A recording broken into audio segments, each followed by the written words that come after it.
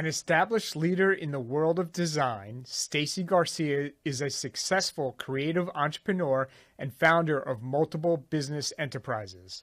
With several commercial brands, Stacy is an internationally renowned designer and forecasting expert. She has partnered with some of the world's leading manufacturers to create products that span from floor to ceiling, including textiles, wall coverings, furniture, carpet, and accessories. Hey, Stacy, welcome to the show. Hi, thank you. And thanks for the great intro. No problem. So honored and uh, glad that you're able to join us. Your story is amazing. When did you know what you wanted to do? You know, I think I'm one of the uh, ones that knew from a young age. I was always interested in art. Um, you know, some kids are very sporty, some kids are academic, and I was always one that gravitated toward creative fields and creative things. And so I don't think my parents were surprised when I said I was interested in going to art school for college. So I, I really did know at a young age. I mean, I have memories of being in fourth grade and taking a class that they offered after school activity for making little furniture that you would put into a dollhouse. And, you know, I think I just kind of never looked back. It was always about being creative in the world of art and design. Uh, awesome. What was your path like when you you graduated college? Uh, take us take us through your the beginning of your journey. Yeah, so I sort of knew I was going to go to art school in some way, shape, or form. I just wasn't sure, just in case. I got a little nervous about going to a school that only offered art. And so I ended up studying at Syracuse University. Uh, they have a great art program. And I found a major called Surface Pattern Design. And uh, you can see one of my paintings actually behind me right now. Uh, this is not a pattern painting, this is more of a fine art piece. But at Syracuse, I was able to study this. I didn't realize up until that point that that was a career path, that you could actually go and study how to design textiles or carpets or any kind of pattern that would go into repeat and be applied onto a decorative surface. And I I found out about it and and kind of was just hooked on this idea of being able to create these designs for a living. So my path really started out uh, through the program that I studied in Syracuse as a surface pattern designer, and from there went to Ralph Lauren and was able to get an internship in Manhattan at the Ralph Lauren home division, and that was an amazing experience. I'm sure. So tell us about the internship. What did you find out um, that this is what you wanted to do? So, like, was there a certain aspect of the internship that drove you to a certain area of this industry, or tell us about it? Yeah, you know, it's the internship was a really great experience. There's a handful of companies I think that are really known for for sort of creating this transformative you know effect this sort of idea where they make magic. You know they they create these worlds that didn't exist um, until they came up with them and put them together. And so i look at disney as one of those companies with the imagineers you know they create these fantasy spaces. Mm-hmm. and ralph lauren was a very similar experience. So you had this studio that was responsible to put all of these products together and all of the vignettes together and then would show them to the buyers that would walk through. And the exposure to the level of detail that this group really created was amazing. So I had the opportunity to see, you know, some of the inner workings in their um, design studio, sort of see how they were organized and also see the level of detail. So when they would create a showroom experience, they were bringing in not only, you know, the people to hang the draperies, but they were bringing in the horticulturists so that if the theme mm-hmm. was Irish cottage, they were importing mushrooms from Ireland and gluing them around the floorboards to really immerse the buyer into this experience, you know, really sort of transport you to the vision that they were trying to create. So that was just a great lesson, you know, to be exposed at such a young um, age, at such an early start of my career, to how you can create this sort of fantasy world and really bring people in, immerse people in through the details of design. And the other thing I learned uh, at my experience at Ralph was this idea of licensing. So up until that point, I had not considered licensing. I, I really hadn't heard of it. I didn't know what it was. And I remember the senior designers talking about, oh, they just heard from a licensee, and the licensee is asking for a black background on the fabric. But you know, it was sort of this constant negotiation. And I remember saying, well, who's the licensee? Why does it matter? And they explained that the licensee was the partner that was helping to bring that vision forward. So at the time, Ralph Lauren wasn't directly working with factories, they were working through partners who would produce uh, the, the various products, and then Ralph Lauren would get royalties off of the products that sold. And so it was this, you know, sort of business concept too that really planted seeds for how I was going to ultimately um, steer my own business. So it sounds like you learned a tremendous amount. Um, I had an internship in in high in college as well, and it put me on the path to you know su- success and what I wanted to do. So the value of internships is so important, and I, I think like all of our kids can benefit no matter what industry they decide to go to for internships. And I, you know, I think it's more than that, but certainly to have the ability to be a fly on the wall at some of these meetings um, made all mm-hmm. the difference. I learned so many great lessons uh, during that time, but I, I really believe that a lot of it is just what you're open to learning, sort of keeping your ears open, keeping your eyes open, keeping your mind open, and being willing to ask questions and then consider the possibility. And that's really sort of the beginning of any entrepreneurial journey, right? Is to consider what is the possibility here. And I think I've always right. been really curious as a, you know, in my nature, I've always been a lifelong learner. And so that openness and willingness to sort of continue to question, and consider to keep, continue to keep an open mind. I, I remember a conversation my grandmother used to echo back to me over the years as I was building my brand and building success with it, where she said, you know, when you were young, I remember going to lunch with you in the city while you were interning, and you said, and I quote, Hey, if he can do it, so can I. You know, why can't I do it? I'm going to do it too. And she said, You just knew back then that you were going to build something, you know, follow your dreams, build something on your own, and and really have, as she says, the chutzpah to go for it. you know, to to have that. Yeah. You know, you're not going to be too afraid to just do it because you know what's the worst that can happen? And so i really believe that that's always part of the entrepreneur's journey is keeping an open mind about things and going huh like that's something i never considered. And i'm constantly being inspired you know even today by new technologies new things new ways of driving my business forward. Right. So you you did your internship and your first your first job was where so after Ralph Lauren, uh, my first job was on uh, Fifth Avenue. So there's a textile building. There was actually two textile buildings. One has now been converted into condos, but there were two textile buildings there. And I took a job at a company that was manufacturing. So I went from like this high end luxury, well known brand to um, really sort of uh, middle America, I'm going to say, catalog product. So it was another totally different exposure to what the possibilities were and where you could apply your talent and um, how you could make money in the industry. So I was I took a job designing at a company called Cadillac Curtains and Oxford Draperies, doing um, patterns for drapes and curtains and some bedding that ended up in like Sears catalog and a, a company called Blair catalog. So you know, pretty inexpensive and all had to be photographed so that the colors would pop off the page because that's how the consumer experienced it. But it was a great um, education as well because I was sent to the mills, I was going to the textile factories and really learning on the job about the technical process of producing the textile. So that was a great um, next step for me.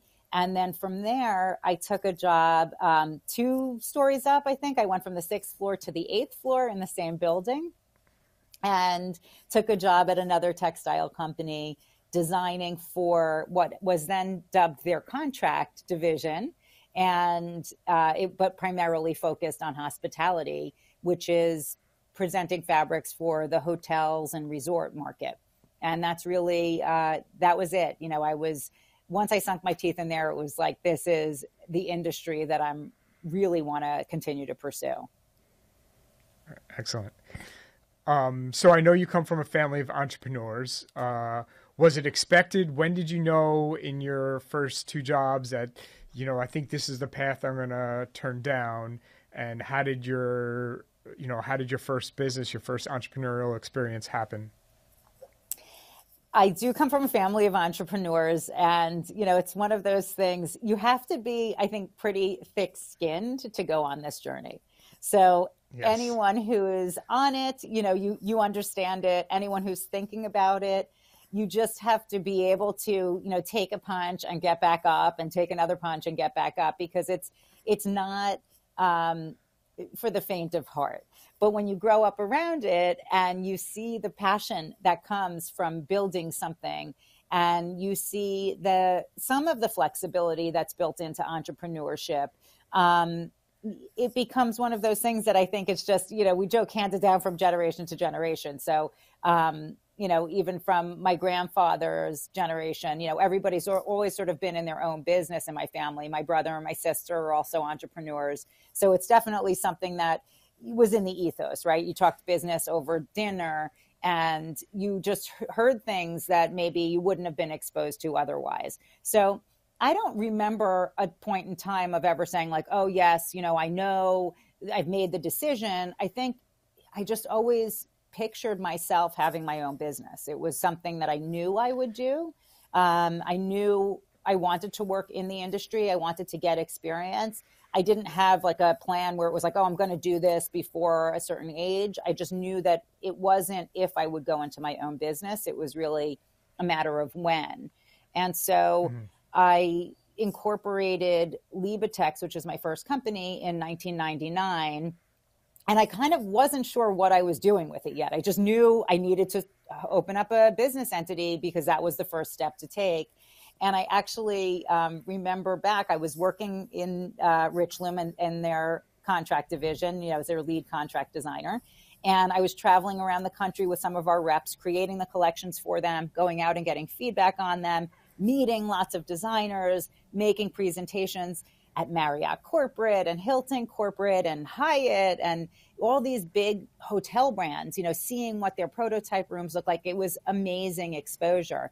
And while I was doing that, I started to take night classes at FIT. They actually offered a class called Going Indie, and it was really short for Going Independent. And started, you know, from scratch, sort of what's the difference between an S corp or a C corp or a sole proprietorship.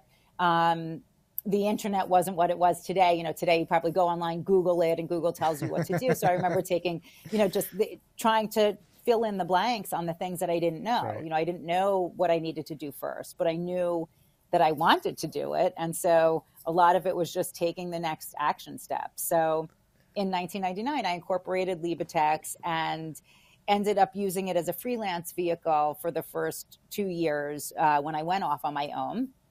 And then ultimately uh, parlayed it into a textile company that I'm still running uh, 22 years later and we sell fabrics to the hospitality industry. So definitely stayed within that wheelhouse of creating designs and textiles that get hung in hotels and resorts all over the country. That's great, and you know that that's you offered like a good piece of advice in the beginning there by you know going out and taking a course to learn things that you don't know what you don't know right and you're always learning every day and I'm constantly watching videos or reading or listening to podcasts to try to gain information on topics or areas in my field that I, I don't know. So yeah, that's yeah. great advice. It is, and the other thing I like to do is I like looking at other industries too. So I find mm-hmm. that some companies get really stuck where they're only looking in the small, you know, ecosystem that they're in but I find a lot of inspiration in other types of industries. So right now I'm sort of really interested in you know the metaverse i'm really interested in what is that going to become you know how is that going to impact design how is that you know are, are people going to want to have digital homes that they're you know decking out or digital hotels. Um, so you know just really trying to look at other industries and how they do things uh, to gain inspiration and, and stay ahead of the curve. Yeah, and you know what what the, the next advancement of all of this is designing people's uh, or or companies network their their television or their internet network um, and that I think within the next five years whatever type of business you are everyone's going to have their own network and it's going to have to be branded. It's going to have to have color schemes and logos. And I'm not just talking like website because it's all content that needs to be created, and uh, that's like another avenue that's not even explored yet. Oh yeah, the whole thing is changing so fast. Um, I had my first experience with the Oculus headset in a VR uh, world. Have you done that yet? Yes. It's crazy. it's totally crazy. I know, but yeah. it was really amazing because it sort of tricks your brain. So, you know, right. I was trying to explain it to people saying, you know, we're all on these Zoom conferences all day long and we're in front of our screens and you know where you are, right? You know you're in your home office or your office and your brain doesn't think that you've left the house. Um, when you put right. the headset on, I attended a virtual networking event um, for my industry and I felt Excellent. like I was in the room with people. So, you know, I came back to my team. I said, Oh, yeah, I saw Jill. I saw Jennifer. I saw Donald. You know, I saw all these people. In my head, I saw them. You know, my head, right. We were all interacting, walking through the space. So it was wild. I mean, you know, that's where, as a designer, I'm just, I'm excited because there's always something new. There's always, you know, new trends that are happening, impacting the way people need to live. I mean, I don't know. Maybe we'll be designing, you know, VR rooms for people in the future. Totally, without a doubt. Um, so, what led you to um, Stacy Garcia Inc.?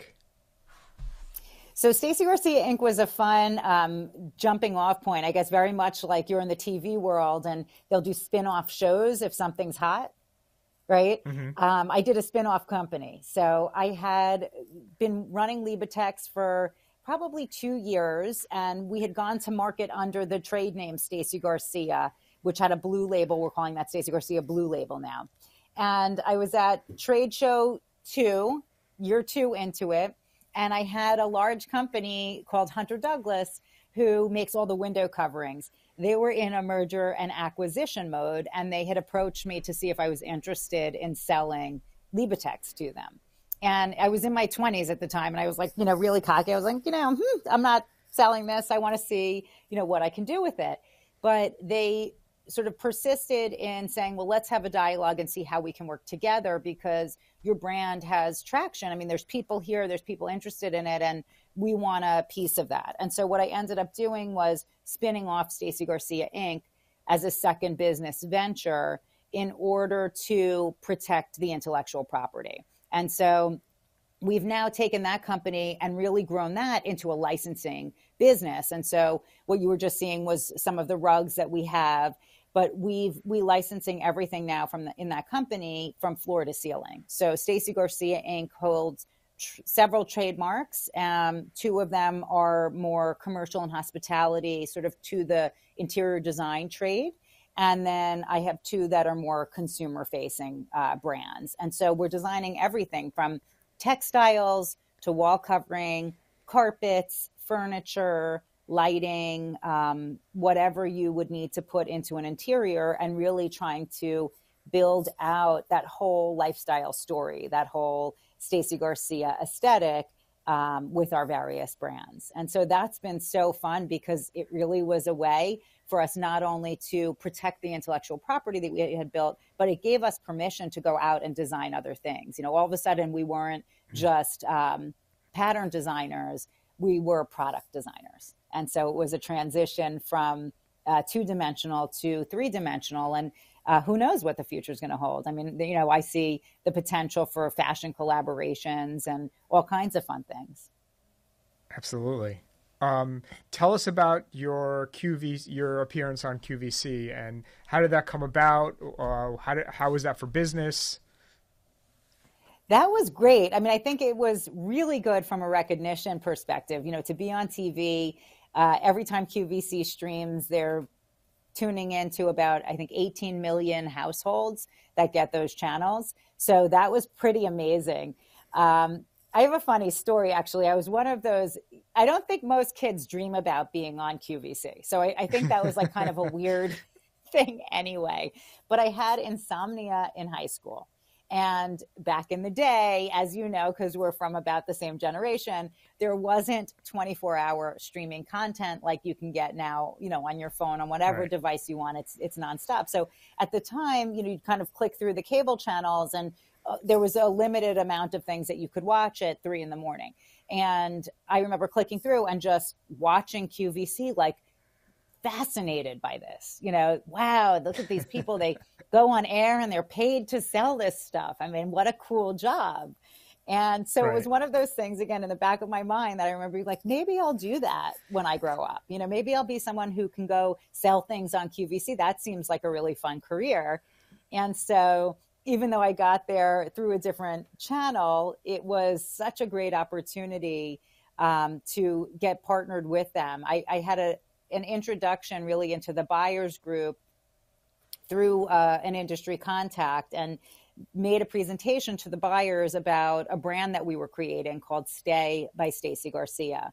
And because we had 20 years of experience designing product for hotels and resorts, I created this concept of it's a great play off my name, you know, the idea of Stacy or stay, but this this idea that you can stay comfortable, stay relaxed, create like a staycation in your home and the buyer at QVC loved the idea. And so we uh, made a contract with them that they would hold the license and we would create home products together under the Stay brand. And Excellent. so I did that for about two years with them. And uh, the product sold out, so it's not available any longer. Um, but it was a lot of fun, you know, a lot of work uh, to be on TV and a lot of fun at the same time. So that was really kind of a dream come true, as goofy as that sounds. But, you know, for me, that was uh, a really cool milestone. And doing it really, it was pretty amazing, opened a lot of doors for me with other brands and other opportunities. So it's like anything else, you know, gaining that credibility does help to continue to sort of build momentum moving forward. Right, right. Um, so just some entrepreneurial questions. Uh, do you have a business coach?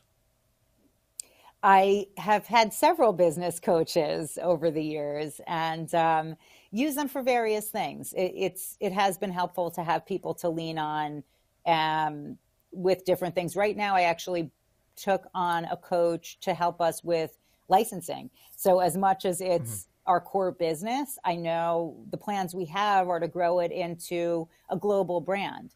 And so while we do have product that's distributed in 52 countries, what I find is that most of that distribution is through the trade. So it would be through, again, through hotels and resorts that are putting our carpets or wallpapers or furniture into their properties.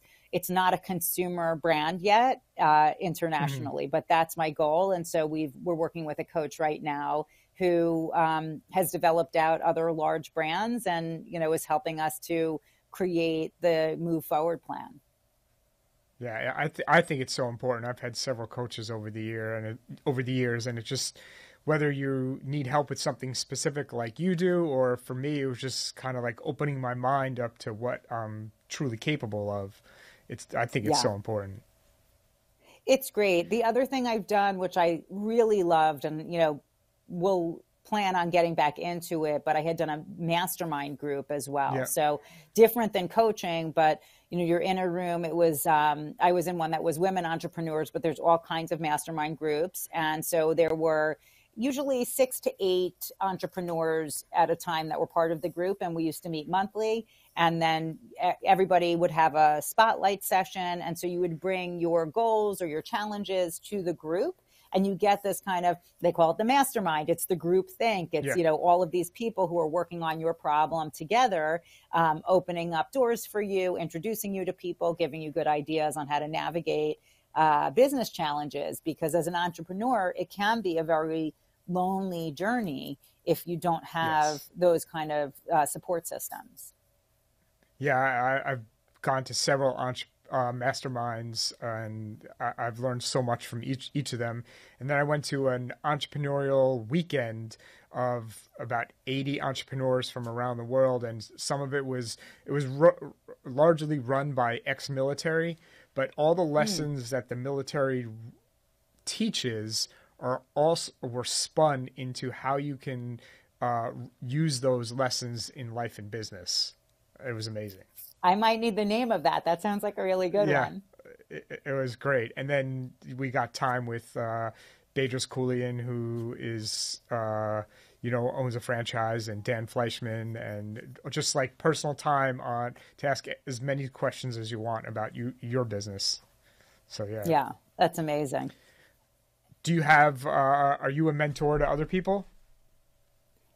I am, and you know, I have nothing formal. I'm not, you know, running a coaching business, but it's one of those things when people do reach out, I I try to say yes as often as possible. It's interesting because not that many people I find are bold enough to even make the ask. And it's mm-hmm. a really good reminder on the other side of the table that you know, a lot of people think about it or they wish that they could ask the question or they wish that they could get you know, a half hour of time or an hour of time. But most people are too afraid to even ask. They're too afraid of the rejection of the no that they don't even go for it. So it's it is a good reminder. And you know, we've we've asked bold asks of people too, and many many times have gotten yes, um, probably more often than not. And so it you know that's a good reminder too. So yes, the answer is I do uh, mentor people and stay in touch with them and try to you know coach them. Because I had so many people come before me who were willing to invest their time uh, and their knowledge in me. Excellent, excellent. Um, I know you might have just touched on it a bit, but uh, any plans for expansion uh, besides what you had just mentioned? Yeah, so you know, you were asking about kind of how Stacy Garcia came about. It was a spinoff idea. We have grown it into multiple brands. Our latest thing is just about a year old. So uh, we actually just launched Shop Stacy Garcia. And so as we've expanded from hospitality into the consumer market, we were getting asked from people, you know, they'd see our Instagram, where can I buy that? What a pretty rug or what a pretty pattern. And we were always saying, you know, unfortunately, for years we didn't sell to consumer. For years it was like well if you want it you need a hundred room hotel and then you too can have that share but you need a hundred of them. So there were always high minimum quantities. Um, so this was a really fun opportunity to expand as we developed out product beyond the things that qvc had exclusively to really start to build a shop off of it. And so you know the, the shop stacygarcia.com became a place for us to put together some of our patterns that we were designing. So we have peel and stick wallpaper that we create. We have a rug line. Um, you can see there, that's me on the bench there. So that's the peel and stick behind me. The lighting that's there is part of our collection. We sell, you know, accessories, everything from like those cool, you know, little sculptures to artwork. And so it really became a blank canvas. It was a lot of fun for me and our creative director and our team to say, you know, it doesn't all have to be product we've designed. I mean, we love great design too. And so we really were given the opportunity to act as merchants as well and be able to put together a grouping of product in the Stacy Garcia aesthetic. And that really is what we call modern eclectic. So I always come at things through a modern lens. You know, I like things contemporary, but I also am inspired by so many different things. So I love travel. And so you see all of these different layers that show up in, in the collections and in the designs, um, including some one of a kind pieces. So that's been a lot of fun. And every week, you know, it's like I, will be uh, whatever sitting at the dinner table, and my Shopify app will be buzzing. And I look at my husband, I go, "We got a sale!" You know, I, I, it's very exciting when people you don't know um, transact with you. And I remember this was getting coached from my younger brother, who has been selling. Uh, as part of his business, he sells books and courses that he's written uh, very specifically to, um, I want to say, civil engineers. You know, so he has a very, very targeted audience. But he had said right. to me when we were getting this off the ground, you know, just wait. At some point, you're going to do an order with a stranger, you know, somebody who you've never met. So it's not like a friend and family who knows you and loves you and trusts you. And you're not on QVC's platform where the people know QVC and trust them. This is going to be someone who just loves your product or loves your story and they're going to transact with you. And you're going to be so excited when that happens because you'll know that you've struck a chord and you know and then it'll it'll build upon itself you know more people will find you more people will see what you're doing and um, he was right. So, you know, when we get those, I get so excited every time to see, you know, it's a new person who likes what we're doing. It's a new person who, you know, trusts us enough to put their information in there and um, be part of, you know, using our design or using our products in their home. So that's always uh, such an honor. So that's really what we're working on right now and uh, going to continue to you know, put a lot of uh, love and energy into that venture. And um, we have some new products too that we're rolling out. So I'm, I'm really excited. So I'm just keeping my fingers crossed and praying.